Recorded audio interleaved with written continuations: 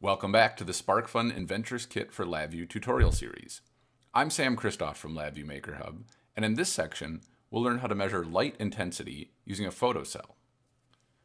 In LabVIEW, I'll click on Help and choose Find Examples, and then I'll click Search and type LINX. There's a specific example for using a photocell, so I'll double-click LINX Photocell. I'll close Example Finder and then in the serial port section, I'll choose COM3, which is attached to our RedBoard.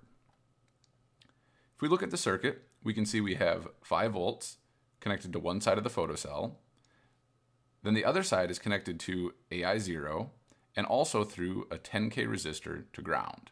So this creates a voltage divider, and the photocell's resistance will vary as the light intensity varies.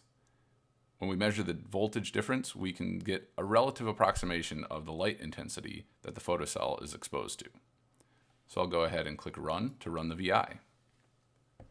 Once LabVIEW establishes a connection to the RedBoard, you'll see the voltage indicated on the vertical slide indicator.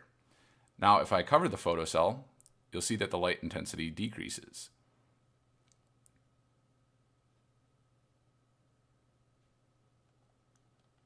Let's take a look at how this works. I'll click the stop button and press Ctrl E to bring up the block diagram. You can see that we establish a connection to the RedBoard. Then inside the loop, we use the photocell read VI, and we give it the analog input channel. This VI assumes that we're using a 10K paired resistance, and it outputs a value between 0 and 100. Now this isn't specific lumens or any other measurement, it's just an arbitrary number scaled from 0 to 100. Then we convert it to a U8 and we display it on the vertical slide. Let's say we also want to graph that data. I'll switch back to the front panel and add some room below for our graph. Now I'll right click on the front panel to bring up the controls palette and click graph and choose waveform chart. We can add data to a chart one point at a time and the chart will maintain the history. A graph on the other hand displays sets of numbers, so we'd have to pass it an array. Since we're sampling one point at a time, we'll use a chart. I'll left click to place it on the front panel, and then I'll click it and hover over and grab one of the handles to expand it.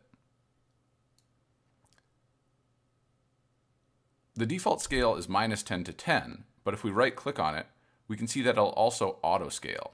So I'll click this to turn off auto scaling because we know our value will be between 0 and 100.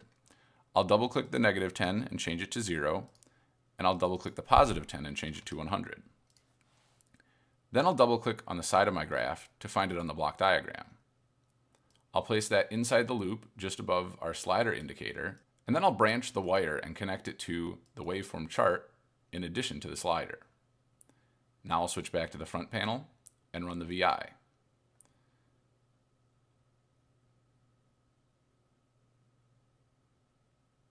Now we can see the value is displayed on our slider and on the graph. Think about how you could use the light intensity to control lighting in your room using LEDs, or to get a relative approximation of your hand position. You could maybe even use this with our buzzer to create a theremin.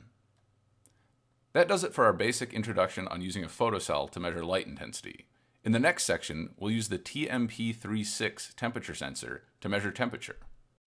Make sure to check out labviewmakerhub.com for more tutorials and projects, and ask any questions you have on the MakerHub forums at labviewmakerhub.com/forums.